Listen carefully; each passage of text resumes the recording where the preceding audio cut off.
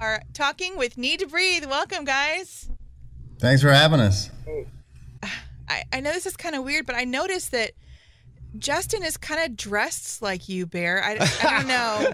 He what is. is- I've noticed that too. Here, it's a Um, little weird. I wanted to do my, my best need to breathe impersonation today. Yeah. It's Oh, weird. you did it. It's Yeah. weird. Nailed it. I got the hat and the denim, and I thought, you know, uh, I know last time we spoke there were more of you, so you've got a spot open. Yeah. Maybe I'm thinking uh, we, we Yeah. could fill that spot today. He can play Okay. the spoons really well. So, yeah.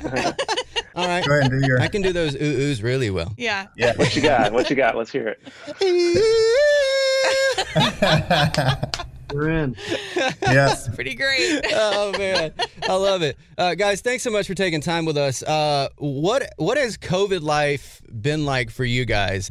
I think it, I've got two little kids, so five and two. They they are a lot, and they're up early. Uh, so this is the first kind of like total shift of schedules I've ever had. So I'm up at six in the morning, um, doing that deal. But it's been it's been great for me. It's been it's been a really creative time, but also kind of a blessing. Just it, we haven't been off the road in so long, probably ten years or so. So it's nice um, to connect with the family in that way.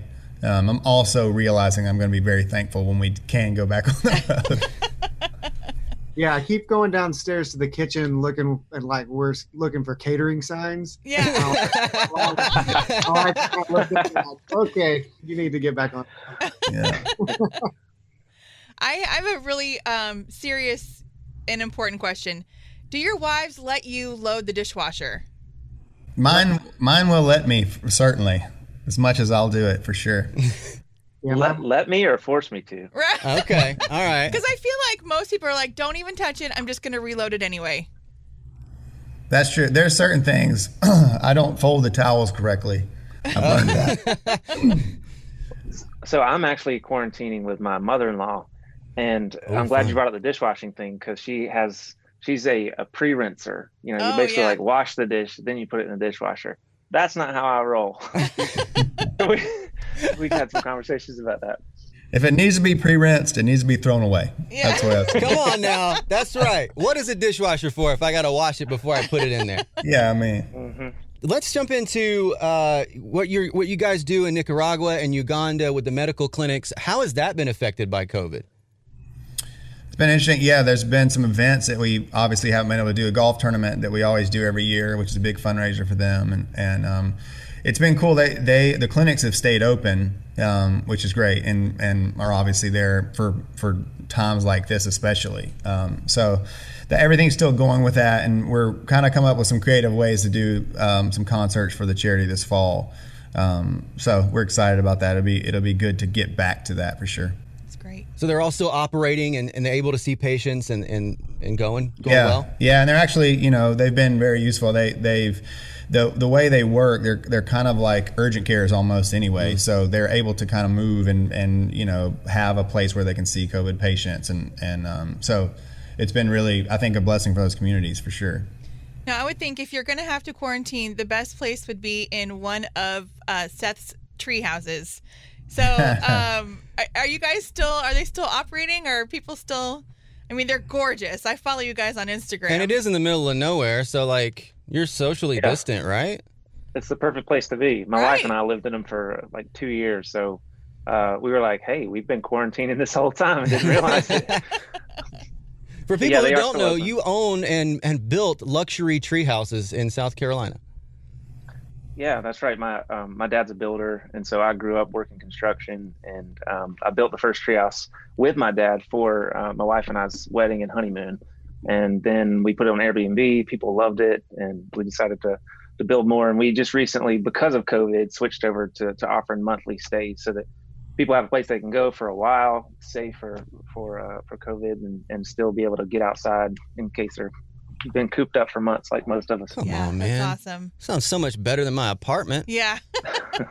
Nothing to look at in there, man. It's beautiful out there. I've seen pictures. It's great. And you should book one on Airbnb. Go check it out. So, Josh, what has it been like for you being home with kids? And uh, I know, you know, you guys are on the night end of things, and now you're having to get up early. Yeah, no, it, it it's been yeah, it's a it's a it's good and challenging, I guess. Like I, I feel like when we're on tour, I'll stay up. You know, we, we play a show at 9:30 at night, and then we'll go to bed at two, three, maybe, and then sleep. You know, until whenever. You know, Mhm.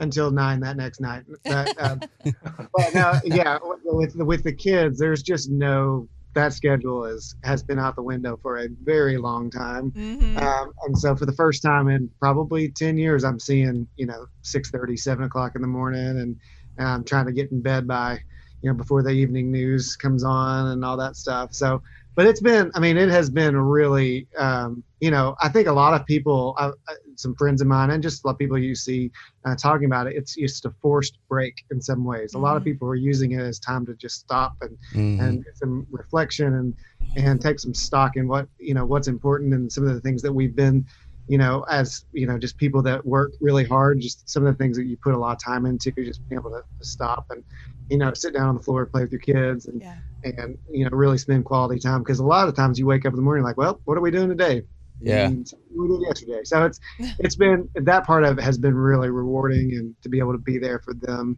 um, during this time has been has been pretty sweet Well, one exciting thing that that man, not only am I excited excited about, but so many others is brand new music from Need to Breathe.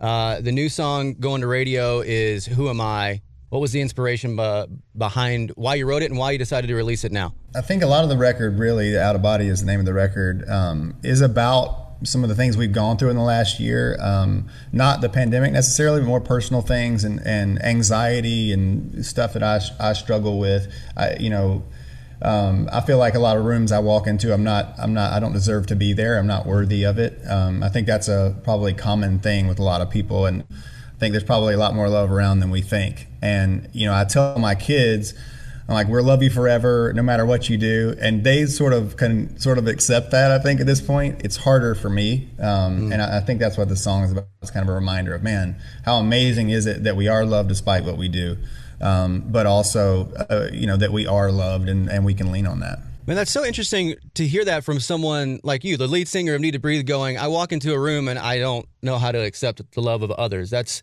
you would think, at least the perception would be that someone in your position wouldn't wouldn't deal with those issues, but we all do, right?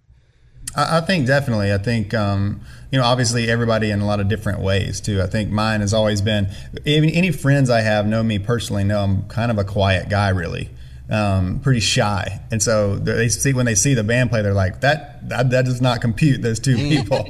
um, so I think when it, you know, there's a lot of situations that are really sort of. Uh, I've always been sort of tough for me. I'm working on, and. Um, yeah, and I, I think it's a contrast to you see your kids, you know, that have just absolutely no anxiety or fear. You know, really, it might maybe it's some scary movie or something, but they're like they just walk into the room just themselves fully. And I think for me, that was something I really wanted the record to reflect. Of like, man, that's really where we want to be more often. One of my favorite lyrics in the song is "You grow your roses on my barren soul." Man, that's just like that's great mm-hmm. poetry right there, and it just it Thanks, it, it speaks a lot to what you're what you're talking about now.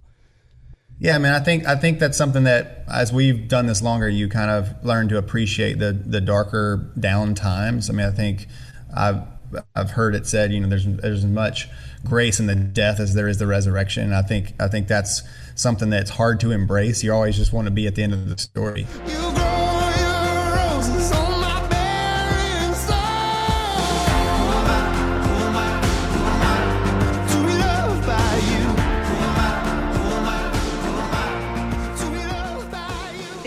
Much for just spending a few minutes with us today. And uh, we are both big fans. Yeah, And this is a real treat to get to chat with you guys. can't wait for you to come back to St. Louis when all this is over and you're able to tour again.